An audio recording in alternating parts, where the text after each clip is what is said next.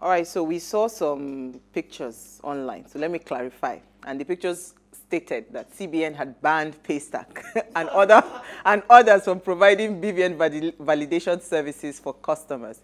Another one says, you guys said fintech is the new oil you now have their attention. That's speaking to the, gov the, the, government that we have their attention. And someone else said, anytime this fintech announces new strides, I just know that CBN will come up with a way to frustrate them. Some of these were the reactions that we saw trailing the CBN um, BVN verification ban that is trending online. Although CBN is yet to make an official statement, this clearly caught our attention. And since it's our Friday that we talk about businesses, fintech, economy, we thought it would be nice to understand what this means to us, you know, as Nigerians, the economy, and if it is true, will it be a setback or um, is CBN on track with this ban? Now, in another news, in a circular released by the Nigerian Capital Market Regulator, um, SEC today, investment platform providing access to foreign securities might be treading on dangerous grounds, according to SEC regulators that have just been brought to light. These platforms are trading foreign securities not registered in the country and have been warned to stop doing so. Capital market operators in partnership with them have also been warned to renege on providing brokerage services for foreign securities. And this is quite tricky you know, it's very tricky because I don't understand. But I would definitely love to hear what Rotus Oddiri has to say. Now, Rotus Oddiri is a 10-year 10 year business media veteran who hosts the Global Business Report on Arise TV. He also hosts um, Business Express on Smooth FM 98.1. Rotus is a free market capitalist and technology advocate. When he isn't in front of the television cameras or behind a radio microphone discussing capital markets and economics, he is hosting webinars for tech and banking industry. So he is the perfect guest in case there's anybody that CBN will hold. and he's joined us tonight. Ah. Careful. now, please let us hear what you have to say. Remember, you can join this conversation. Tweet at us at WadeShow1 with the hashtag WadeShow or send us an SMS or WhatsApp to 081 8038 So, Rotus, because we ran out of time, we're not even going to do our initial banter. Well, we'll just come straight to you yeah. because um, the truth is, when I saw this thing, I said, which kind of wahala be this again? And right. let me tell you, especially the one on the email that um, Paystack released. Right everybody, I mean, Tammy was one of our co-anchors. She's a finance expert. She's, she's all the way, you know, uh, uh, somewhere. Right. And she sends a message that, what kind of wahala is this one? Are we cursed in this country? Is this a demonic? And like everybody is reacting to this. It's right. almost like everybody's looking at it that this is a big setback, you know, for fintech businesses. Is this right. even true? Well, so the thing is, we haven't heard officially from the regulator, right? And the thing is, if you are already on these platforms, then you have nothing to worry about. So if you're already a Paystack customer or whichever other fintech, you're good because you've already been onboarded. What that email was saying was that third-party non-bank institutions cannot do BVN validation. So if a new person is coming to open an account, they will not be able to submit a BVN and do a check it's KYC, know your customer, yeah. whether they can come on, right? So it's a setback because now that halts new, um, getting on board new customers who mm. want to mm. buy, um, uh, do business with them. However, the reason why I'm pleading for uh, calm is that the, the regulator has to say something, right? It's the regulator is the overseer, right? Who is, the, who is going to lay the law and say this is what we're doing right either in a tweet or in a statement or a press release, release, or something. So they haven't said anything, I mean, but it is the duty of the fintech companies to say, hey, come, you're my customer, this is what is happening. All of a sudden, you can't, we've, we've gotten word that we can't onboard third-party people. So that, that did have, you know, you've been floating all the tweets. It's, uh, if a lot of folks are right to be upset because how can you just wake up one morning and then say people can't onboard um, BVN checks? The central bank said that bank verification numbers are supposed to be the main source of identification. Compulsory. Uh, compulsory, right. So, you know, that was, so, I, so it's confusing hopefully on Monday or something, or they will release a tweet or let us give us some more um, um, information, or maybe say it's a false alarm. But for now, yeah, you know. But if unless you have not yet, for new, brand new folks, those are the ones that have to worry. If you're already onboarded, you're good. Okay, so let me go to AK. Okay. let me even jump to something. I was going to ask a question. I'll jump to something. Do you think that CBN needs to improve the way it communicates? Because I am just thinking mm. we shouldn't hear from Paystack right. first. Right. Do they owe us that duty? Because see all this pandemonium and everybody trying to interpret, people are saying bans, people saying suspension. What is their role? Because it's driving me crazy. Correct. You have a right to be upset and to be frustrated. They do have a communication issue. And why should they? They got the Twitter account. The governor of the central bank is constantly, he was in Kebbi, he's been in Nassau, other places promoting their Anchor Borrowers program for agriculture. So when the government wants to tell you something, they're happy to jump out and tell you. So if for issues like this, uncertainty affects investments, uncertainty affects business decisions, Exactly. right? So yeah, you're correct. They do. They sh- right now, they should have jumped up and said, "Look, oh, this is what it is. There's no, don't worry about it." Or explain or tell us. As in when, Right. when we started the show and the banter, and I, I know, I, I think I took a story about um, them suspending 197 business accounts. for yes, foreign exchange infractions. Yes. exactly. Yeah. yeah. You know, some of those things you need to communicate, especially in the light of financial literacy. And all of us is saying, you know, people need to be more informed so that they cannot be susceptible to all the things that are happening because people and fraudsters. You know, just jump on those On these, loopholes right. and then they begin to do things. Correct. And you have all the power. Issy, please go now. Yeah. Hey, again, you have, you have a right to be, to Okay. be, to be frustrated. Like it is frustrating. Okay. yeah. For, uh, um, let me look at it from a layman's point of view. course. Basically, what does this really entail? It, will this attract investments to Nigeria, or Okay. will it um, ban investments in Nigeria? Yeah, so I'm, I'm careful not to use the word ban, right? Yes. So because there's no, no, there's we no, actually there's no. played on the word ban Yeah, you. Okay, you're playing the quote Ah, okay, okay, cool. So the thing is, right now, it's not encouraging because if you are looking to partner with a fintech or say you want to get, you know, because Nigeria has such a large population of people, and so there are a lot of businesses looking to come in here, payment services, and you know, uh, yeah, quick loans and so on and so forth.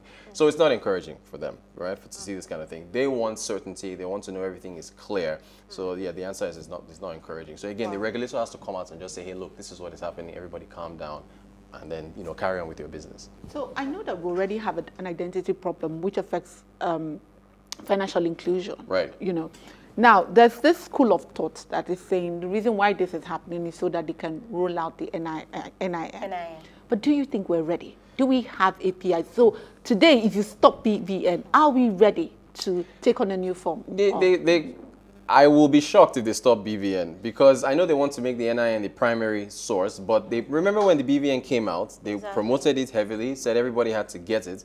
So I mean, you're reversing a whole lot of work if you re- if you say you're stopping the BVN. I don't think it's look the NIN thing. There was an own goal where they told people during COVID nineteen to go and pack yourselves inside different centers to go and register. They should have allowed the telcos to lead, which they did after a while. They did now said you could go to your um, respective telecommu- telecommunications office and go and register. So yeah, they want to make the NIN the primary source, but I do not believe it is going to lead to us neglecting or negating the the, uh, the BVN. So how is this going to affect financial inclusion? Because the banks themselves cannot tackle this giant. Mm. Right, right. So if this, let's assume that tomorrow Mm. something happens and they say, okay, fine, really, fintech, this is not a suspension, Right. it's a complete ban. What do you think our progress on financial inclusion is going to be? So they are not the, the, the target. Okay, they moved the goalpost for financial inclusion It was 80% um, as of 2019. Now they've moved it to 95% in 2023. I think only about um, 60% of the population is financially included. So you got another 40% that's not.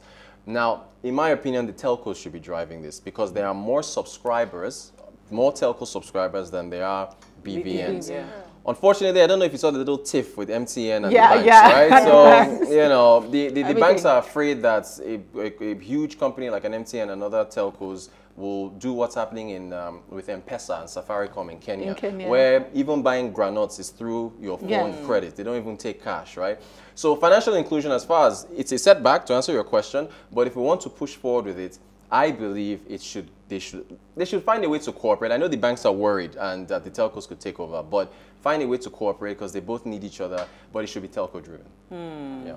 Okay, so Rotus, I was going to ask you that, you know, because now we're looking at all of these things and it seems like for me, I think most times when I see things like this, it's just like with the Bitcoin and everything, I just feel like CBN do not, they don't understand Right. where the future of finance is going to. Mm, that's So help me Yeah. help them to understand. Because, no, it's true. Because at some point, it's like we take 10 steps forward. Like, look at what somebody said when that person tweeted about is the new oil. We know that this thing has the capacity. I mean, just when did we announce unicorn for Paystack? yes, yeah, Oh, flutter For me, wave. Flutterwave, sorry, for yes, Flutter, you're right, Right, right, right. Would they be giving him unicorn if there's no investment? There's something in that space that is bigger than everybody. And it, I mean, the only reasonable thing you should do Yeah. as a body is to try to understand it and see how, because I still feel they've not found a way to make money from that. you know, so just help me understand it Yeah. because I don't think they have a, a clar- they have clarity on, you know, what fintech is supposed to look like. Right. The funny thing is, your point about taking 10 steps forward and then back. The central bank, back in 2017, 2018, they held a, they invited people. I, I attended. There was a, a little uh, forum they had in that office in Mari- uh, Marina near the stock exchange. They had fintech people tell, because they were like, want to understand Bitcoin, want to see what's going on.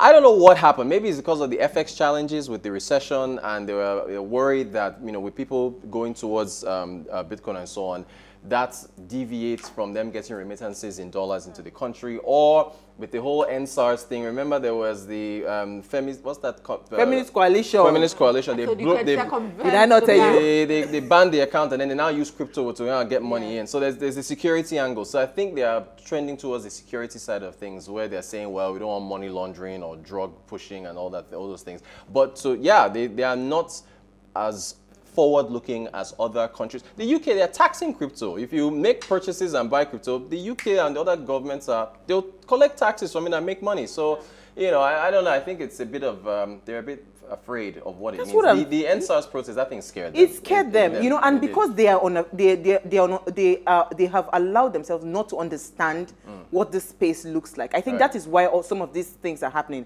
Just before you came, we were talking about you know having a body that checks mates CBN because at Right. least Yeah, we've got judge it. and No, jury. no, because we've got it. We've got it to and that. jury. Yeah, Right. we've gotten to that point, uh, Rotus, where it seems the like powers. they are the judge and they are the jury. Everything. Right, Do you understand? right. We need to be able to let them understand that there are certain kinds of decisions when you take it, it cripples your economy. Right, You know, a right. lot of this, the future for, for Nigeria, especially our Mm-hmm. economy, is going to be in the financial tech space. Correct, that's So if you The keep on taking, advanced, yes, actually. you know, if you keep on taking these steps that takes us backward, then we will never grow. Correct. You know, so how can we? I mean, maybe we'll So find a body. I, I- the thing is, we have a universal banking system. So unfortunately, the CBN is the be-all and end-all when it comes to the financial space. So it would take a brand new government and a new form and a change to the constitution and all those things in order to get another body to checkmate them. So that's the thing. Another thing.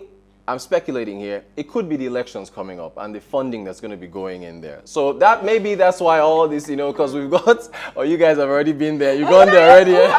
I always say she says she says I'm a, I'm a conspiracy, conspiracy theorist. I'm just, I'm just, you know, because it's weird. When you just wake up and you start trying to It cut off all these avenues for funding and money to move around, who knows? It could be fear towards how who can fund who in the election. So I, you know, but again, what we need is clarity, and hopefully, maybe Monday or even would- over the we weekend, we get get a it. tweet and we get some clarity And if from this, them. okay. okay, and if this actually happens, and we all know that um, the SMEs are actually the, the bedrock drivers, of the, yeah. the drivers of the economy. Yeah. So um, with what has happened, if it happens, Mm. basically, um, what's the effect on Ooh, SMEs? wow. I mean, onboarding, you can't onboard new SMEs. A lot of these businesses, a lot of these fintechs are B2B, which is business to business. Business to so, business. Um, okay, so I thought we are going on Zoom before I, I came here. So I topped up, I topped up my Wi-Fi and I did it through a secure channel through one of these fintech companies. So Okay. your, your Wi-Fi payments, you're booking trips, or just think of any any logistics or day-to-day. Anything that has to do with ease of doing business. Thank you. They, they facilitate that. So if you're not going to, you know, um, if you if you cut off channels the way you can add more of them to your platform, then you're holding back um, progress of SMEs. Okay, you know what? Let's let's take a So break. that means Let's go and drink water and come back. Ah, no, we have to drink water and come back. We'll be right back. Stay with us.